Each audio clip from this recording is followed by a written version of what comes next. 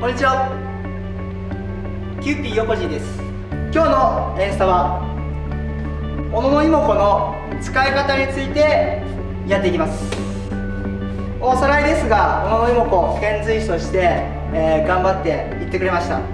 で、まあ、使い方ですよ、まあ、妹子は一応男性なんですよ。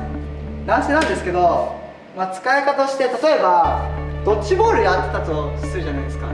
で絶対避ける人いますよね取らないで。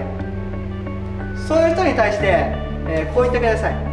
まあ投げられたとします。もうやだもう僕のこと憧れてよお前妹子じゃん。おかもかお前は。妹子。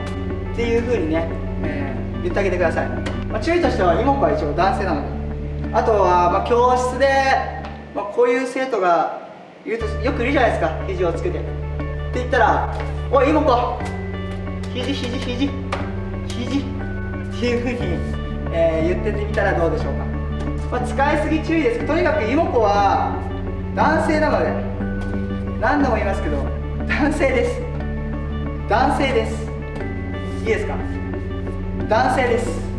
はい、まあ、これで「小野妹子編」終わりです。ありがとうございました。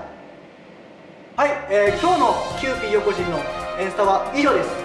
皆さんチャンネル登録よろしく。